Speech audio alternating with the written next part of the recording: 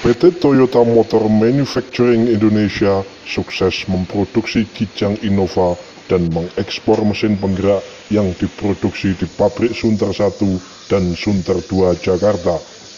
Menerapkan standar Toyota, pabrik Sunter memproduksi mesin tipe 1 TR untuk Kijang Innova dengan kapasitas 2L dan mesin 2 TR untuk Fortuner dengan kapasitas 2,7L.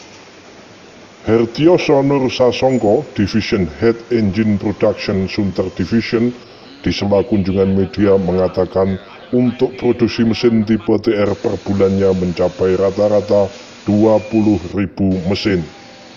Sebagian mesin diekspor per komponen dan dirakit di negara masing-masing.